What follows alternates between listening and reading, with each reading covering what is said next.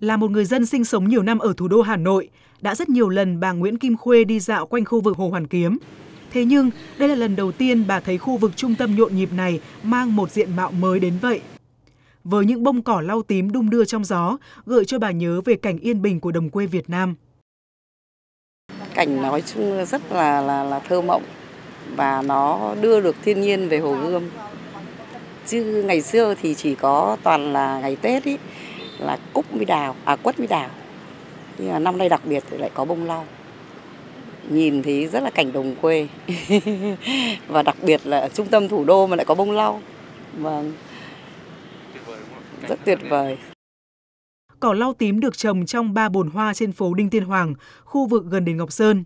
Nhìn từ xa, loài cỏ này có vẻ đẹp bình dị, không mấy thu hút, bắt mắt.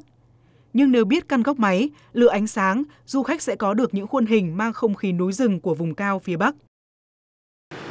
Rất là đẹp. Nó có một gì đấy nó lãng mạn, nó nó hay hay, tôi đặc biệt. Bởi thế hôm nay tôi ra đây tôi chụp ảnh bông lau tôi rất thích.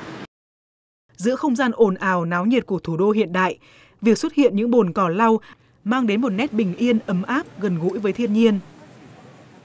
Khi mình xem các cái thước phim ấy, của các bạn thì trình thì thì là mình thấy là là chỉ là ở biên cương đấy. Ở viền coi như là cái vùng biên giới xa xôi thì mới có được cái những bông lau như thế này. Nhưng mà bây giờ thì được coi như là mọi người đưa về giữa thủ đô như này mình cảm thấy nó gần gũi đấy. Và nó có một cái sự gắn kết giữa miền xuôi miền ngược vùng sâu vùng xa sắc lau tím dịu dàng đung đưa trong gió, tựa như một giải lụa bồng bềnh hài hòa dưới nền xanh mướt của cỏ cây. Cùng với đó là dòng người qua lại tấp nập. Tất cả tạo nên một bức tranh thiên nhiên vô cùng dân dã, thơ mộng, đầy cuốn hút. Du lịch Hà Nội dịp này, đặt chân đến Hồ Hoàn Kiếm, bạn sẽ thấy một Hà Nội hiện ra với đầy hương đồng gió nội, vừa quen vừa lạ.